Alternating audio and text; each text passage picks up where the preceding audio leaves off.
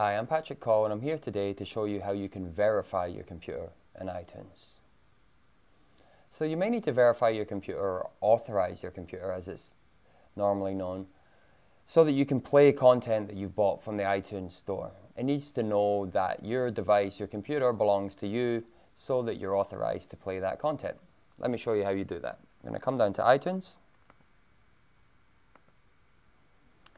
Now up here in store, we're going to see authorize this computer.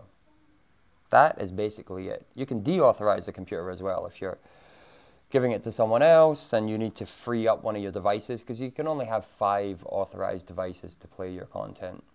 But basically to authorize your computer, iTunes, go to the store menu, authorize this computer. That's it. I'm Patrick Coll. Hope this has been helpful. Thank you for watching.